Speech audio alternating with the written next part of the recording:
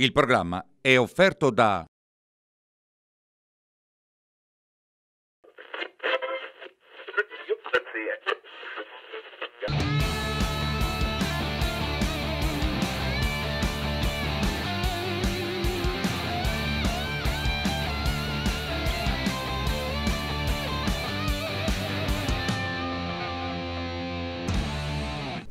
Radio Parlamento, ben ritrovati a tutti. Come sempre siamo con Roberto Del Conte. Ciao, Come ciao a tutti.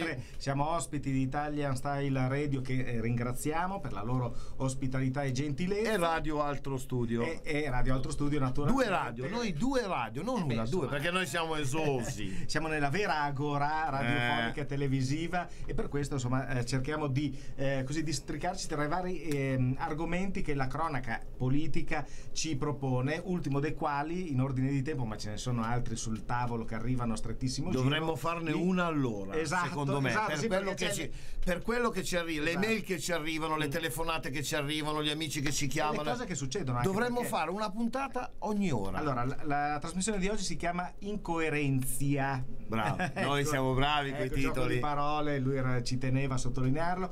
Eh, sì, relativa all'Italicum, quindi alla legge elettorale e gli eventuali profili di incostituzionalità che però valuta Mattarella, poi non, non lo tiriamo per la giacchetta, ma soprattutto eh, l'incoerenza nei confronti degli elettori, ma non solo anche del Parlamento, quando il Premier soltanto qualche tempo fa diceva no, la legge elettorale, le regole del gioco si scrivono insieme, eh, non la faremo mai a colpi di maggioranza, invece è quello che è puntualmente avvenuto. Si potrebbe dire, Sì. elettori, state... No, State sereni, state sereni, come dice Renzi, non No, vi preoccupate. No, ma il problema grave di tutto questo è che poi qualcuno adesso comincia a lamentarsi ehm, dicendo ma perché i cittadini sono alterati, perché succedono i casini nelle piazze, perché arriva Renzi o Ah, qualcun altro. nesso, ma diciamo. assolutamente sì, perché non è come dice Renzi che qua ci sono i gufi e c'è la gente che è negativa. Qua non è questione di essere negativa. Provi, signor Renzi, invece di andare a fare l'università come ha fatto con la mamma e papà che lo hanno aiutato ad alzarsi le maniche a 14 anni, andare a lavorare e trovarsi adesso a 50 anni con gente che non riesce a mantenere la famiglia. Ma di che cazzo sta parlando sto Sì, no, Renzi? no, infatti una delle Dai. critiche, una delle critiche,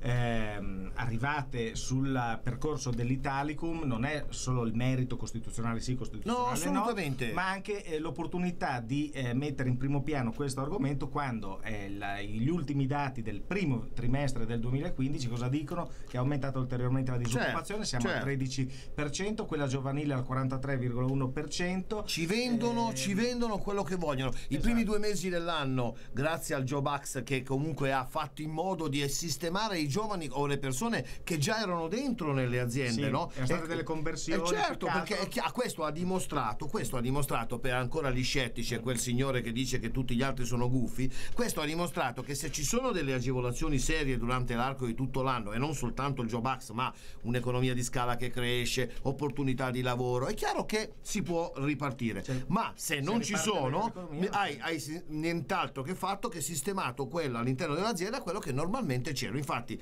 le- le- le- i disoccupati aumentano, il mercato è fermo, però no- non divaghiamo. No, il no, problema al di là del Jobs Act, noi eh, sappiamo molto bene che anche di fronte a un'eventuale crescita di 0, virgola, eh, le aziende che hanno già diciamo, tagliato il tagliabile eh, riutilizzano risorse che hanno già al loro interno e questa conversione di contratti da, a termine a tempo indeterminato col Jobs Act altro sono appunto che sono eh, solo questi. Tant'è che subito da marzo è la discesa perché C'è è stato, stato- fatto stato quello che doveva essere fatto. Però io quello che volevo dire, e quando si parla di Italicum Eh, ehm, Italicum è una, eh, perdonami, è, è- è l'amo, no? È l'amo su cui dobbiamo partire. Però io in questa puntata, quando parlo di incoerenza, parlo in- a 360 gradi. Prima fuori onda ci stavamo dicendo Certo. delle cose molto belle, del tipo il giorno che io troverò un politico, un politico vero, che ha le palle di dire io non sono d'accordo col mio partito, io non sono d'accordo con queste leggi. E al, e al secondo o terzo sconto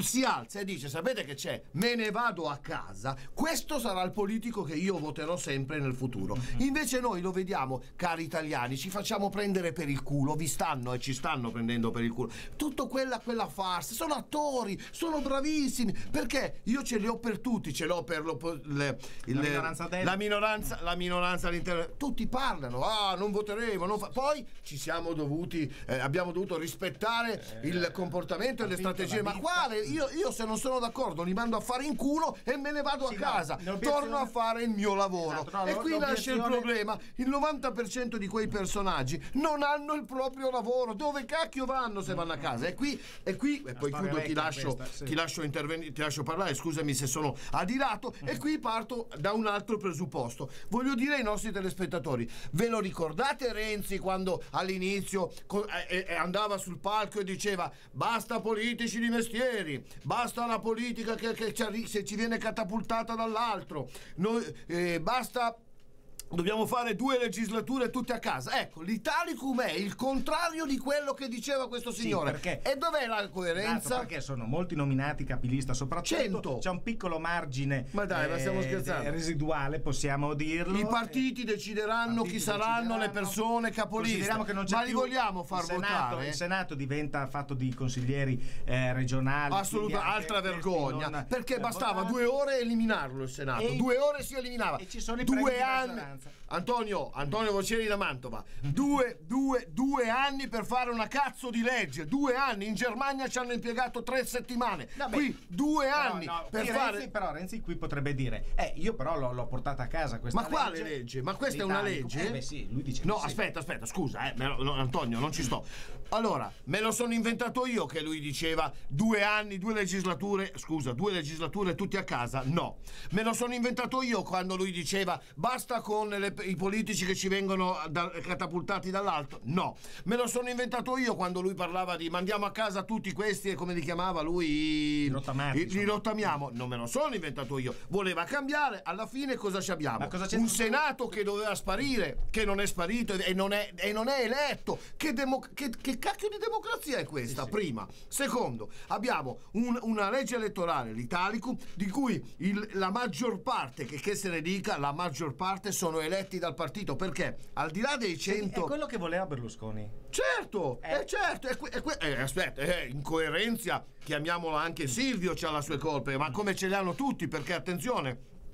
Guarda, guardate il marchingegno politico. Si parlava de- della soglia del 4%, siamo arrivati al 3%. Eh. Perché? Perché alcuni partiti di governo in questo momento, al L'NCD. 4, l'NCD e company, al 4 ci arrivano col cazzo, ci arrivano. E allora adesso cosa succede? Sono scesi al 3 perché magari il 3 mettendosi insieme ci arrivano, se no questi adesso cadono, fanno cadere il governo. Questa è incoerenza. Questa Renzi avrebbe fatto la più bella figura di dire sapete che c'è? Io, io avevo detto che doveva essere così, se non la facciamo così me ne vado, ma qui anche Sì, Forza alla Italia. fine ha anche fatto un atto di forza Ma che Renzi perché ha forza? detto qui si gioca il futuro del governo Eh. quindi ha fatto un out-out completo Ma, ma- ma- ma quale atto di forza? Ragazzi, stiamo parlando mica È della legge, questa. ma mica della legge pizza e fichi. Qua stiamo parlando della legge, di una delle leggi costituzionale che prevederà, che prevederà nei prossimi anni il rapporto e il rispetto politico nei nostri confronti. E qui ha fatto completamente. Ma la colpa, attenzione, l'incoerenza non è solo nei suoi confronti. Anche Forza Italia ha sbagliato, assolutamente. Perché do- non, non doveva eh, appoggiare questa legge, ma era quello che voleva Forza Italia. Perché l'80%, se non il 90% dei candidati di Forza Italia, se si vanno a prendere il voto di preferenza, uno. ma non ne prendono uno perché sono tutti stati catapultati quindi- dall'alto, a- come Forza Italia e l'NCD. fa comodo certo, certo, certo, ma anche questa è incoerenza, perché io sono sempre stato, me me lo riconosci, Certo, certo. sono sempre stato contro il, il famoso patto del Nazareno, ho sempre detto che io voglio e prete- pretenderei che i candidati vengano eletti nel territorio perché così sono responsabili e riconoscenti e devono rispondere al territorio. Invece così cosa succede? Ragazzi, stiamo parlando di 100 circoscrizioni, Senti, per concludere- 100 deputati Esatto. che verranno eletti dai partiti. Ecco, ehm, il- è proprio questo, adesso senza entrare troppo nel tecnico che è complicato, i paragoni erano stati fatti con, ehm, con la legge Acerbo, quindi in pieno tempo eh, mussoliniano, con la legge Truffa, quindi del 53, eh, paragoni che in parte ci stanno, storicamente in parte non ci stanno, resta il fatto che alcuni elementi fondanti della legge destano una certa preoccupazione. Certo. Il grande premio di maggioranza a partiti che non prendono la maggioranza, mentre nel 53 bisognava quantomeno avere la maggioranza. E poi il combinato disposto con eh, i, parlamentari nominati e un, un Senato, anche quindi le, le riforme costituzionali che di fatto è stato svuotato. Tutto questo eh, rischia di dare, anzi rischia, sicuramente dà troppa forza a chi vince le elezioni che si prende davvero tutto, quindi d'accordo la stabilità, d'accordo la governabilità, ma qui forse si è fatto un pasticcio. Ma guarda, io su questo eh, ci penserei un attimino prima di dire che si è fatto un pasticcio, perché comunque l'Italia aveva bisogno di una legge elettorale che desse la, la possibilità a chi, chi vince di governare. E questo secondo me poteva anche starci, assolutamente, Eh, magari rivedendo un po' i parametri e le percentuali, perché... almeno le persone votate, almeno. Perché bravo, almeno le persone, ecco bravo, almeno le persone votate. Allora tu fai votare le persone, poi devi, devi, devi comandare, devi organizzarti, devi lavorare, non devi essere preso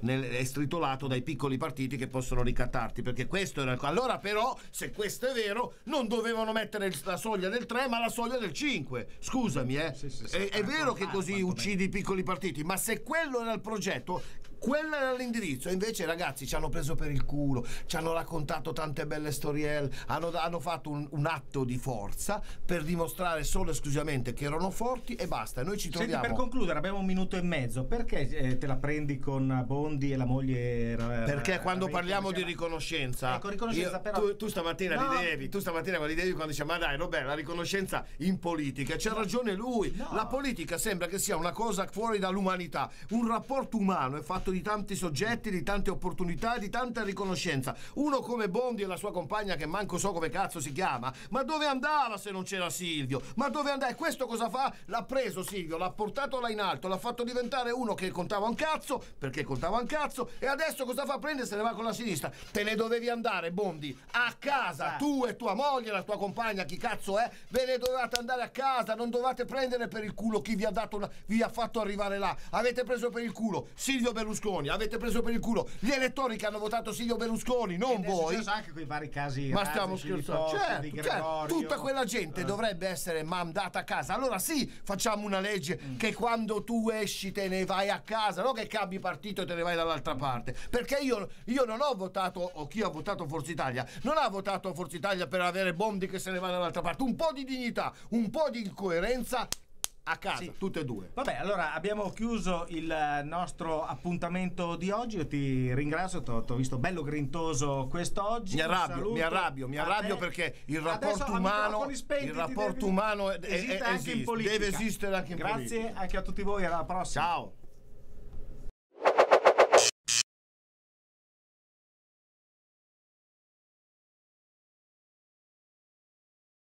Il programma è stato offerto da